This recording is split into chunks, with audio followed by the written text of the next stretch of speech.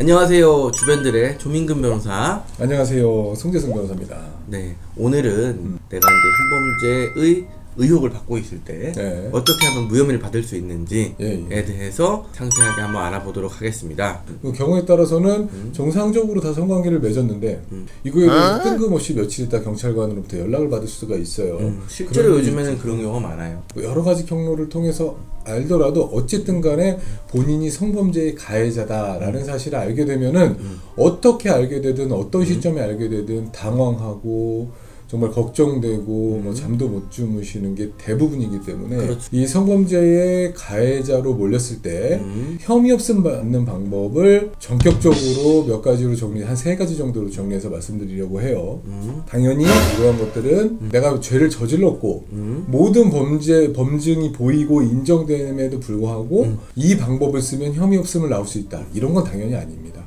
음. 대부분의 남성들은 요새 성인지 감수성이 다 뭐다 해서 여성이 고소하고 진술을 하면 무조건 처벌받는 줄 알기 때문에 실제로 근데 그렇게 흘러가요 수사기관이 그렇게 유도를 하죠 음. 그런 방향으로 갈 가능성이 높, 높죠 요새는 음. 그렇죠. 그럼에도 불구하고 본인은 범죄를 안 저지른 음. 경우도 상당히 많을 거예요 겁을 먹고 당황하고 잠도 못 자다가 음. 인정을 하고 합의 보고 그렇죠 이런 경우가 많을 거라고 생각이 들기 때문에 음. 이 영상을 제작하게 되었어요 음, 음. 수사기관에서는 보통은 이제 음. 내가 고소가 됐다라는 사실을 음. 수사기관에서 전화를 걸었기 때문에 전화를 받고 아는 경우가 많거든요. 그렇죠 근데 이런 경우에 중요한 게 네. 사실 수사기관에서는 어.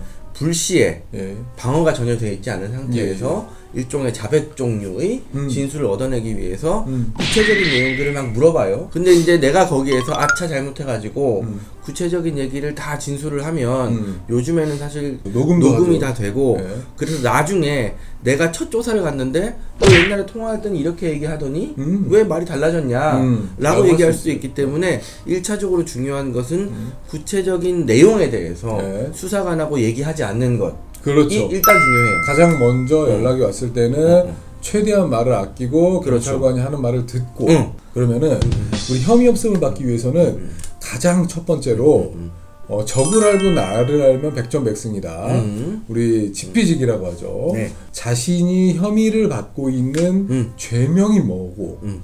적용 법조가 뭐고 정확한 범죄 사실이 뭔지를 그렇죠. 알아야 합니다. 음. 그렇죠? 그렇게 하려면 어떻게 해야 되죠? 일단은 수사기관에 음. 정보 공개 청구를 해야 돼요. 맞아요. 정보가 공개되어 나올 수 있도록 음. 수사기관과 커뮤니케이션하고 그것을 확인한 후 대응을 해야 돼요.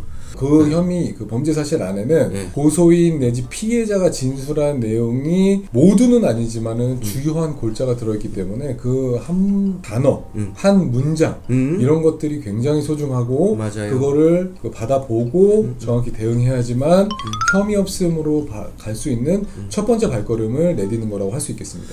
일반적으로는 이제 고소장이 있는 경우가 많은데 네. 요즘엔 사실 고소장 없이 그냥 단순 신고로 음. 사건이 이루어지는 경우가 많기 때문에 네. 고소장이 있으면 고소장이 나오는 것을 보고 대응을 하면 되고 그렇죠. 그게 없다고 하면 사실 수사관들은 어, 고소장 없으니까 줄 게 없어요. 라고 연락이 와요. 라고 대부분 해요. 한 50%는 그렇게 그렇죠. 연락이 와요. 예, 예, 예. 그럴 때 어떻게 해요? 그럴 때는 음. 사실 여러 가지 방법이 있는데 내가 내 범죄 사실을 알고 가고 싶은데 제대로 알지 못한 상태에서 오라고 하면 음. 안 가도 돼요. 그안 가도 된다는 거는 그 전에 분명히 알 수 있는 방법이 있다는 건데 본인이 직접 그 경찰서에 방문을 해가지고 범죄 사실에 대해서 열람 복사를 할 수가 있어요. 정보 청구를 그런 방법도 있고 저는 뭐 이런 방법도 써가, 써봤어요. 나는 절대로 범죄 사실에 대해서는 알지 못하고는 갈 수 없다라고 해서 그러면 이제 수사관하고 합의하에 음. 언제 출석하기로 하고 출석 요구서를 보내달라. 음. 라고 하면 출석 요구서 안에는 구체적인 범죄 사실이 다 담겨 있어요. 음. 왜 지금 조사를 하려고 하고 경찰서에 나와달라고 하는지에 대한 구체적인 내용이 나와 있기 때문에 네.